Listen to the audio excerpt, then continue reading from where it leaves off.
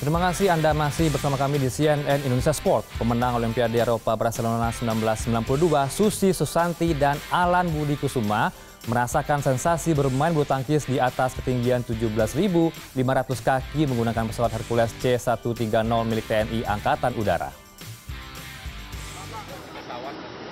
Berangkat dari Pangkalan Udara Halim Perdana Kusuma Jakarta menuju Pangkalan Udara Adi Sumarmo, Susi Susanti dan Alan Budi Kusuma bermain bulu tangkis di pesawat Hercules selama kurang lebih 40 menit. Pengalaman pertama pengantin bulu tangkis ini terjadi dalam kegiatan yang diselenggarakan TNI Angkatan Udara pada hari Rabu 3 Juli 2019.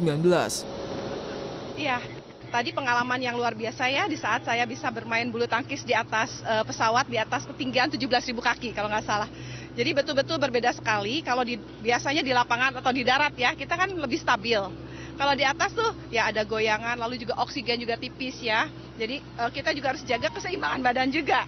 Otomatis pasti jauh lebih susah. Tapi ini satu penghargaan dan betul-betul pengalaman luar biasa sekali buat kami berdua.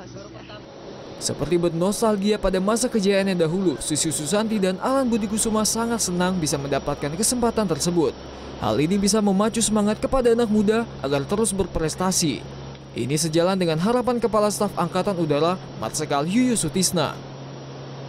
Beliau-beliau itu adalah orang-orang yang sudah berprestasi di bidang olahraga. Nah itu kita role modelnya ada. Itulah kira-kira beliau-beliau yang berprestasi untuk menyemangati mereka. Kalau beliau berdua itu bisa berprestasi pada masanya, nah mereka ini harus berprestasi juga dalam uh, bidang teknologi pada saat ini gitu. Dan mereka harus lebih hanya untuk menyemangati lah untuk mereka ya itu.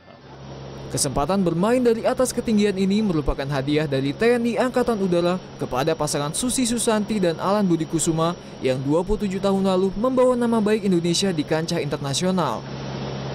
Kegiatan tersebut diharapkan menginspirasi anak muda bisa terus mengembangkan diri dan menggali potensi untuk diri sendiri dan kemajuan bangsa.